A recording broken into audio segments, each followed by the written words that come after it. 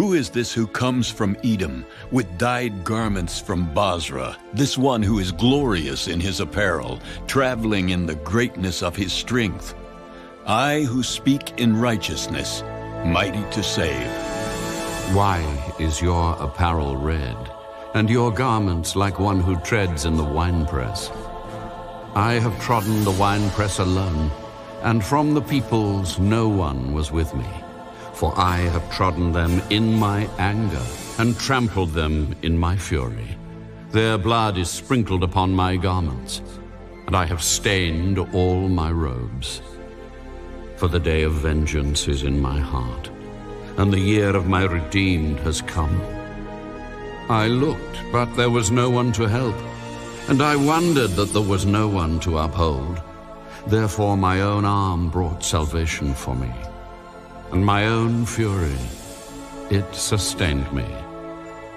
I have trodden down the peoples in my anger, made them drunk in my fury, and brought down their strength to the earth.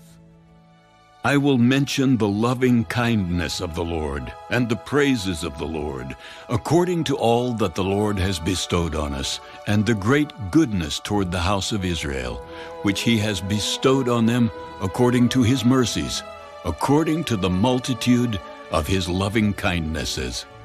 For he said, Surely they are my people, children who will not lie. So he became their Savior. In all their affliction, he was afflicted, and the angel of his presence saved them. In his love and in his pity, he redeemed them, and he bore them and carried them all the days of old. But they rebelled and grieved his Holy Spirit. So he turned himself against them as an enemy, and he fought against them. Then he remembered the days of old, Moses and his people, saying, Where is he who brought them up out of the sea with the shepherd of his flock? Where is he who put his Holy Spirit within them?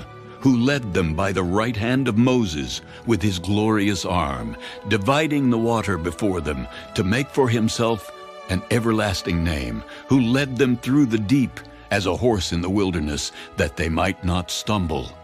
As a beast goes down into the valley, and the Spirit of the Lord causes him to rest, so you led your people to make yourself a glorious name. Look down from heaven and see from your habitation, holy and glorious. Where are your zeal and your strength, the yearning of your heart and your mercies toward me? Are they restrained? Doubtless you are our Father.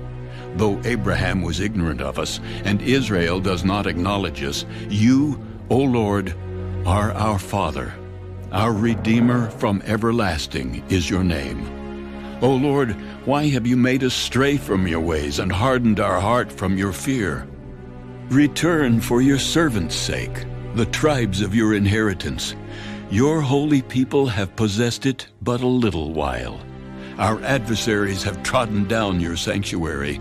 We have become like those of old, over whom you never ruled, those who were never called by your name.